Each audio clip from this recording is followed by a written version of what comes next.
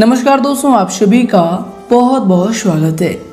दोस्तों, आज के इस वीडियो में हम बात करने वाले हैं सत्रह और अठारह अगस्त की आपकी राशि की महाराशि फल के बारे में। सबसे पहले दोस्तों, जिनका भी में बर्थडे है या फिर एनिवर्सरी है, आप सभी को मेरी तरफ़ से ढेर सारी शुभकामनाएँ। आप दिन दुगनी, रात चौगनी तरक्की करें। तो आए दोस्तों के साथ बात करते हैं यश में। ग्रहों की स्थिति कैसी होंगी? क्या क्या योग बनेंगे? और इन्हें सभी का असर आपकी राशि पर क्या होगा?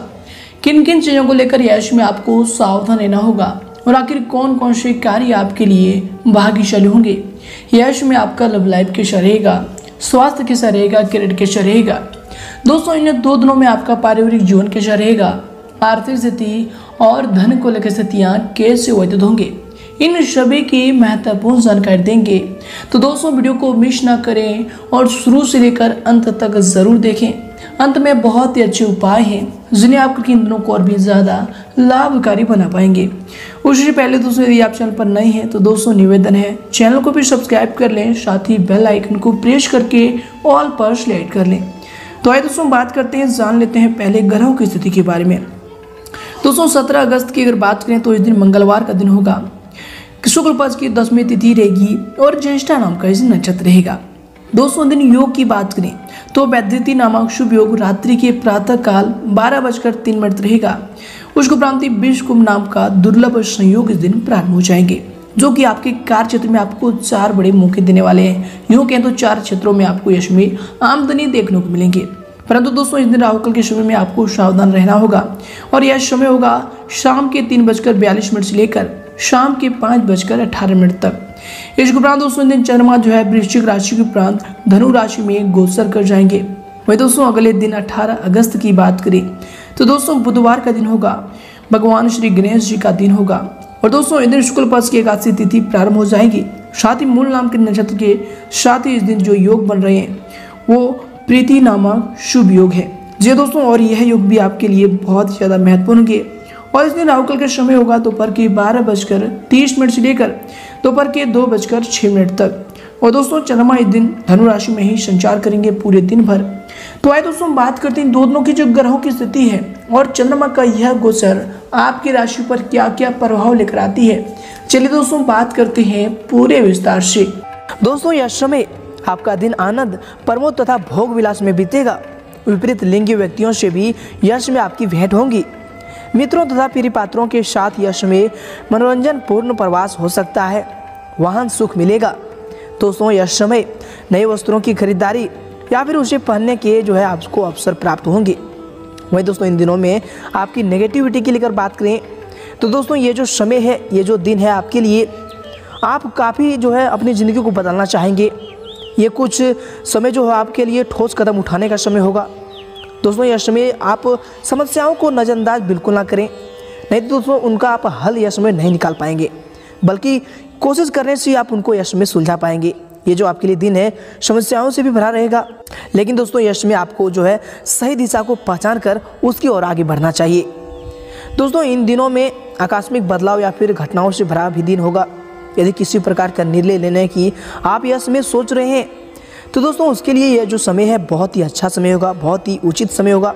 यश में आप महत्वपूर्ण निर्णयों को बिल्कुल ले सकते हैं और उस पर यश में आप कार्य भी कर सकते हैं।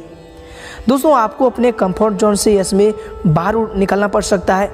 शुरुआत में इससे जो है, कुछ परेशानियाँ हो सकती है, किंतु दोस्तों, ये जो आपके लिए भविष्य में बहुत ही अच्छा लाभकारी साबित होगा। नए लोगों से मुलाकात होने की यश में आसार हैं, जिनके साथ नए रिश्ता का भी आरंभ हो सकता है। वही दोस्तों, इन दिनों अगर आपकी करियर को लेकर बात करें तो दोस्तों, इन दिनों में कार्य क्षेत्र में नौकरी मिलने के आसार हैं। यदि आपके कार्य क्षेत्र से यह भिन्न भी हो तो दोस्तों, इसे जानने न तो इसे सोच समझकर विचार करें, उसके बाद ही इसे जाने दें, या फिर आप कोई भी अलग निर्णय लें। दोस्तों, इन दिनों में वित्तीय मामलों में अतिरिक्त समय देने की वजह से आपकी आय में जो है वृद्धि होगी। बड़ों की सलाह से निवेश करना यह समय आपके लिए फ़ायदेमंद होगा। दोस्तों, इन दिनों में भौतिक संसाधनों में वृद्धि हो सकती है। वही दोस्तों, इन दिनों में अगर आपकी लव लाइफ को लेकर बात करें तो दोस्तों, यह समय आपका प्रेम संबंध जोश से भरा हुआ रहेगा। और दोस्तों, चीज़ों को मसालेदार बनाने के लिए आप बहुत सारी जो है कल्पनाओं का इस्तेमाल यह समय कर सकते हैं। अपने साथी के साथ आपका यह समय तालमेल बहुत अच्छा रहेगा और गहन प्रेम तथा ढेर सारी मस्ती के क्षण आपके लिए यश में होंगे। दोस्तों, इन दिनों में परिवारजनों के साथ समय बिताने का आपको मौका मिलेगा। जिन रिश्तों में बहुत परेशानियाँ आ रही हैं, उनसे आगे बढ़ जाने के लिए यश में समझदारी होगी। वही दोस्तों, इन दिनों में अगर आपकी हेल्थ को लेकर बात करें तो दोस्तों, ये जो समय है आपके लिए हेल्थ के लिए बहुत ही अच्छा रहेगा। सेहत में यश में सुधार होगा। यदि आपकी सेहत में पहले समय कोई भी गड़बड़ी थी यश में तो सुधार होने की संभावना है। योग बन रहे हैं। दोस्तों यश में यदि किसी रोग से आप जूझ रहे हैं तो जल्द ही उनसे आपको निजात मिलेगा। दोस्तों, इन दिनों में माता पिता का स्वास्थ्य भी काफ़ी हद तक बेहतर रहेगा और आपके लिए यश में राहत की बात होगी, क्योंकि दोस्तों, आपके माता पिता की जो सेहत है यश में सुधरती नज़र आएँगी। दोस्तों, इन दिनों में आपका भाग्यशाली रंग रहेगा गोल्डन और भाग्यशाली अंक रहेगा सात। वही दोस्तों, इन दिनों में आप अन्य लोगों के साथ विचार विनिमय करके अपने विचार प्रस्तुत करने का आपको जो है यश में अवसर मिलेगा। दोस्तों, इन दिनों में आप ऑफ़िस में कार्य करने की जो है व्यवहार रचना को तैयार करेंगे और आपके ये जो उच्च विचार हैं पदाधिकारियों की प्रशंसा के पात्र बनेंगे। वही दोस्तों, ये जो समय है, व्यवहारिक और निजी जीवन, इन दोनों क्षेत्रों में सभी कार्य सरलता से पूरे होंगे और आपका ये जो दिन है आनंद पूर्वक पूरा होगा। दोस्तों, ऐसा गणेश जी का कहना है। वही दोस्तों, इन दिनों में अगर आपकी वित्तीय स्थिति यानी धन को लेकर बात करें तो दोस्तों, यदि आप किसी भी सॉफ्टवेयर पर काम करते हैं तो आपका बॉस आपके जो है उत्कृष्ट कार्य प्रदर्शन के लिए आपकी तारीफें करेंगे। आपके खास काम के लिए वो आपको खुश भी करेगा और आपसे खुश भी होगा। दोस्तों यश में नसीब में जो है युतिपूर्ण चर्चाएँ होंगी। आपका दिमाग नए विचारों और ज्ञान से जो है लबरेज रहेगा। आपकी बुद्धिमत्ता नई व जटिल स्कीम की तालीम करने में मदद करेंगी। वह दोस्तों, इन दिनों में अगर आपकी पारिवारिक जीवन की बात करें तो प्रेमी के साथ बौद्धिक मामलों पर चर्चा व फिर गुप्तगु करके आप जो है शाम का यह समय लुप्त उठाएँगे।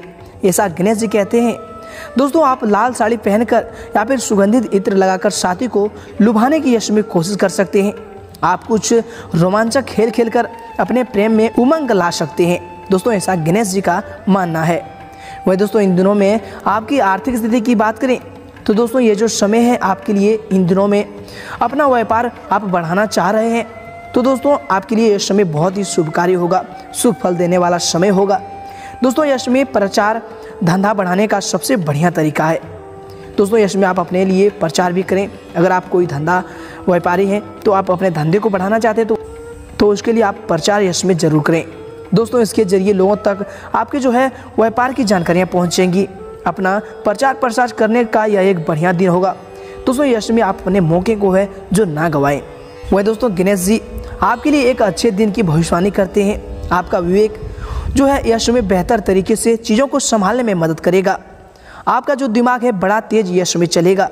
इसके अलावा, आप ऊर्जा से यश में भरे होंगे, जो कि दोस्तों, इन दिनों में आपको कार्य के दौरान और भी मदद करेगा।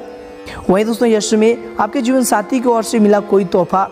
आपके खिन्न मन को खुश करने में काफ़ी मददगार साबित होगा।